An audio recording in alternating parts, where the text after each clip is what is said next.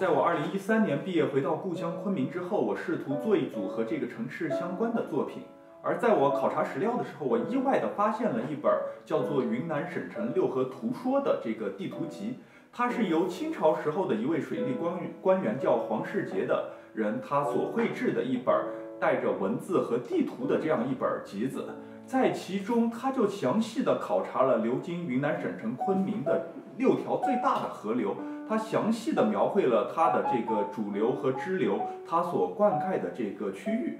由此，我就引发了我的一些兴趣，让我去考察到底在这个时空变迁当中，有哪些是在改变的，有哪些是没有改变的。这些这个在不断变化着的城市，它到底包含着怎么样的时间和空间的关系？由此，我就开始了在这组作品当中的探寻。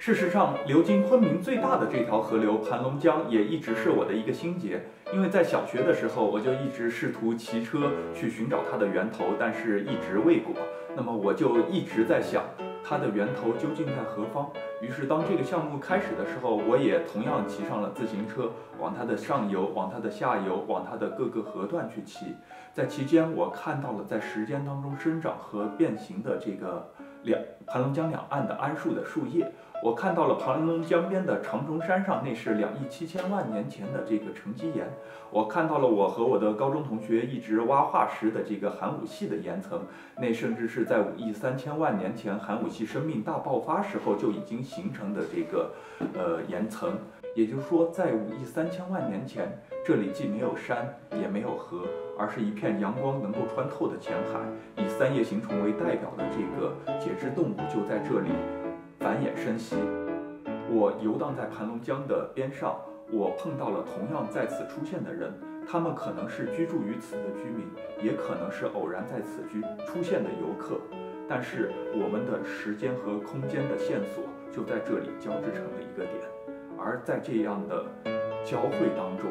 我对这条河流进行了重新的命名。